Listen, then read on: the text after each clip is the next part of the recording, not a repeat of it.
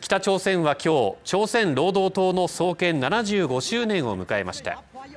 北朝鮮のメディアは現時点で軍事パレードの開催を伝えていませんが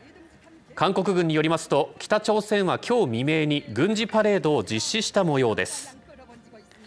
パレードが行われたとすればおよそ2年ぶりで新型の ICBM 大陸間弾道ミサイルなど新兵器が登場したかどうかが注目されます。